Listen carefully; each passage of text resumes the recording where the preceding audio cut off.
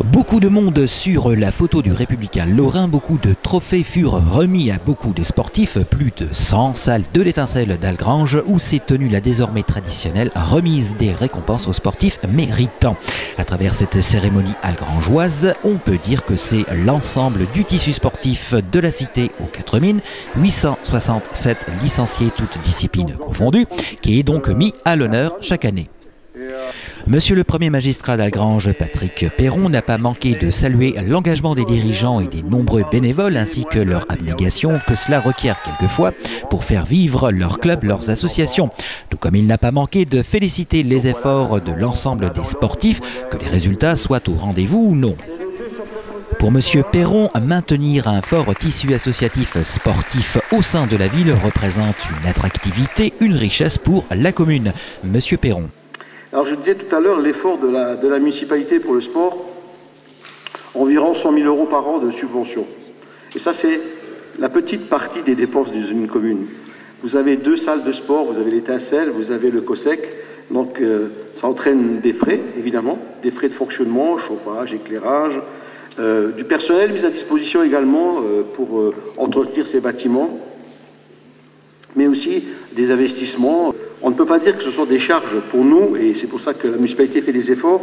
On considère que chaque euro dépensé dans le sport est un investissement. Un investissement sur notre jeunesse en particulier. Et un propos d'investissement, Monsieur le Premier magistrat d'Algrange indiqua à l'Assemblée présente que le dossier de financement du futur boulodrome algrangeois va bon train. Et euh, on a l'intention de construire un boulodrome ce boulodrome couvert, il a une vocation multiple. Bien sûr, il servira à des compétitions de pétanque.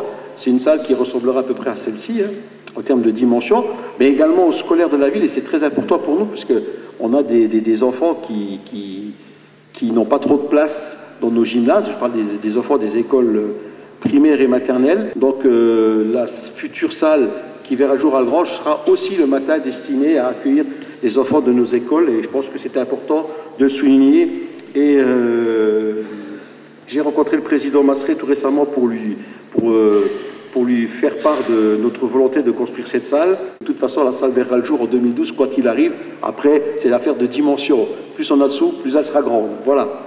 Avant la remise officielle des nombreux trophées aux athlètes de la ville, Monsieur le maire lui a plus particulièrement trois performances, à savoir l'obtention de la ceinture noire première dan de karaté de Monsieur Roland Magnol, qui exerce son art sportif depuis de nombreuses années au sein du dojo Algrangeois.